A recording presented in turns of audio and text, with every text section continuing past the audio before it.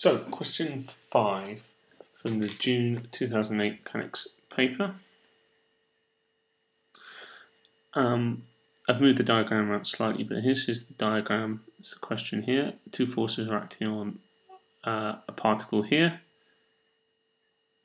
and the force has a magnitude of 15. Well, let's add this information straight away to our diagram. So always, always, always draw a diagram for mechanics. In this case, they tell us that the force P up here is 15 newtons, so let's add that 15.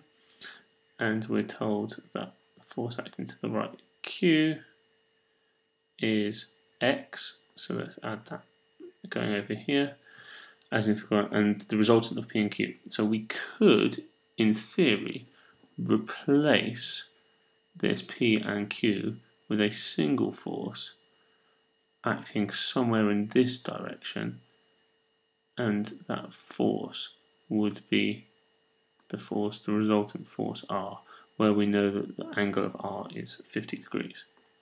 So on this diagram actually, although we draw a diagram on here, we can see that R and we can see that the 15 aren't acting in the ways that we want really, horizontal and vertical are ideal ways.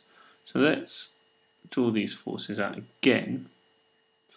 So the 15 force which is there, we can break into a vertical component and a horizontal component as such. So 15 is the hypotenuse. This angle down here is obviously 30 degrees, because if we take the 30 we get the whole 180.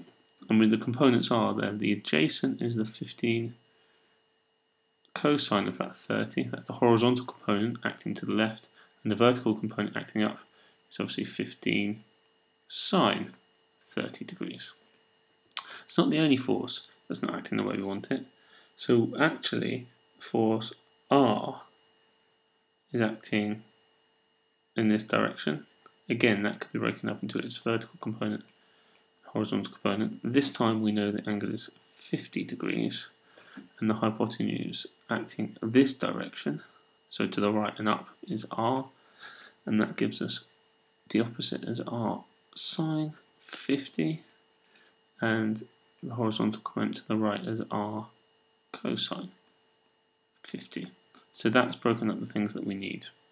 Now, I haven't even started to ask the question, but we're going to use this, and this is worth marks in your exam, and it's a really good reference. We can look at the horizontal and vertical components easily from our diagram. So if we consider R, well, just before we do that, actually, we need to just remind ourselves that P plus Q is equal to R. The resultant is these two added together. Okay, so looking at part A, if we resolve in the vertical direction, if we resolve in the vertical direction, we're not going to have anything to do with Q, which is good because this is an unknown force here. So if we resolve vertically, what we're going to get is remembering that P plus Q must be equal R. Um, we're going to get that the vertical component of P is this 15 sine 30. 15 sine 30 must be the same as the vertical component of R acting up here. Must be the same as R sine 50. So we can rearrange that quite easily. Just divide both sides by sine 50. So we get R using our calculator. 9.79055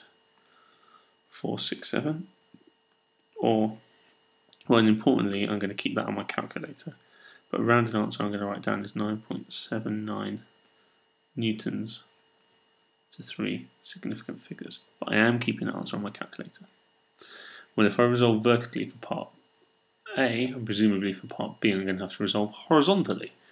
So let's look at this, the value of x in this case. So this time we do want this. So we're going to resolve horizontally. If we resolve to the right as positive, we know that x is acting to the right. What's acting to the left is a horizontal component here of this force 15 is p force, which is the 15 cos 30 Now this force is not really here, it's just an imaginary force, but this R is the resultant. So those two together must be the same as this one vertical component R sine 50 degrees here. So again, rearranging, well we know what R is, so we can just rearrange and we can say X is this plus this, because we're going to move it to the side. It's very important I'm going to be using the answer button for my calculator. So it's going to be answer button times sine 50 plus 15 times cos 30.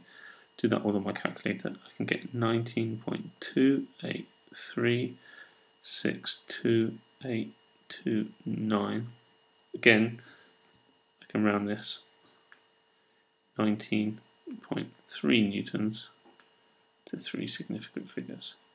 So actually, just to reiterate, this idea of getting the force diagram right gets it straight in your head, but also allows you to draw these force triangles with the two right angle triangles that break the nasty forces, the ones that are acting at angles, not into horizontal and vertical components, which makes actually, when we come to answer the questions, A and B, makes our life a lot easier. And this is actually worth the four marks and the five marks. Doesn't seem very much, but this is not very much when you've got this and this here. Okay.